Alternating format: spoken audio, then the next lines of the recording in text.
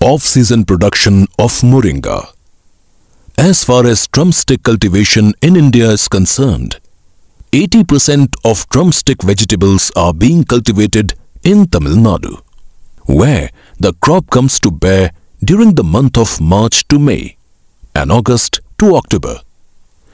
That time, the price of pods per kg would be around 5 to 10 rupees per kg.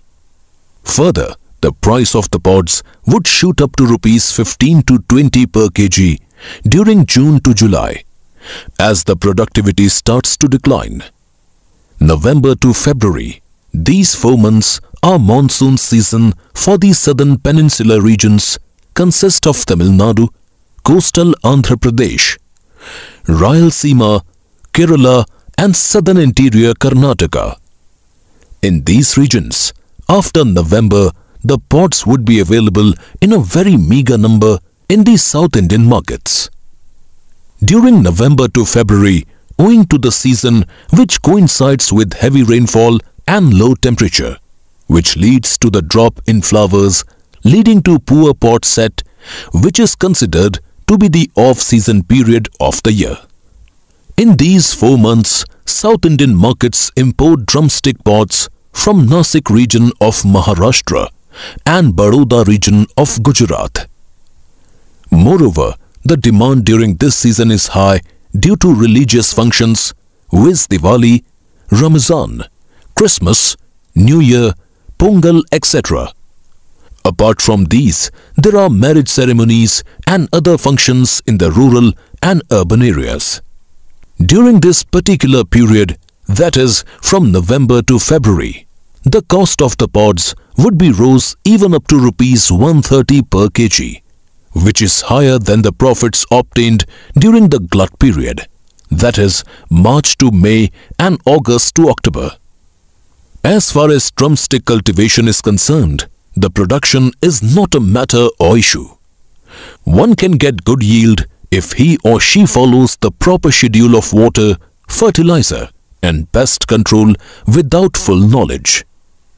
One can easily get abundant yield in March and April in South Indian states, but gets only 5 to 10 rupees per kg in the market. But the same pods can be sold in November to February for at least 50 rupees per kg. How much yield one is getting in November to February is the matter. Getting yield in March and April doesn't help farmers economically. Keeping this in mind and the extra profits that could be given to the farmers in the off-season production, a study was conducted at our farm to induce off-season flowering and pod set during November to February. In this study, the following treatments were imposed to induce flowering and pod setting of ODC3 Moringa variety. The following are the terminology. Number 1.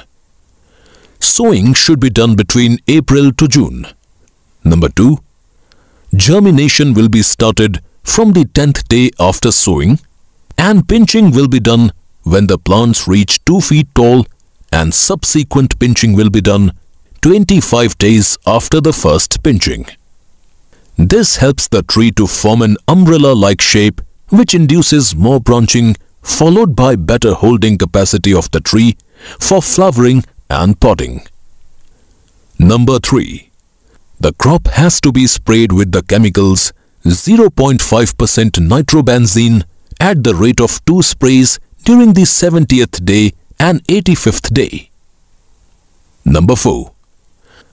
The crop has to be sprayed with HB101 plant vitalizer at the rate of 2 sprays during the 55th day and 100th day. Number 5.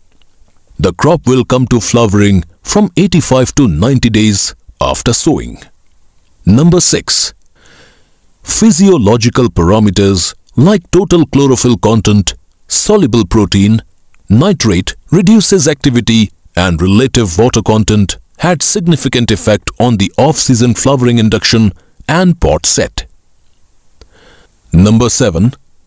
The above combination of chemical spray would induce flower initiation by bud formation and onset of flowering. Number 8. This could induce the off-season production of moringa during November to February. This fetches good price in the market. The rainfall, if coincides with flowering, could induce dropping of flowers, but later dates after flowering will not affect the pod set and pod yield. Number 9. Flower should not be allowed before last week of September. Number 10. Plenty of FYM should be given as a basal dose. Number 11. Flower can be induced by giving mild stress to plant, that is, stop water or give less water. This activity should be done in the second week of September. Number 12. The first week of September, 5 to 10 kg of poultry yard manure can be applied to each plant. This PYM generates soil heat which helps the plant to flower. Number 13. All these activities to be recorded in your farm database with date even if you fail in the first year. You can succeed in the next year by adjusting the time.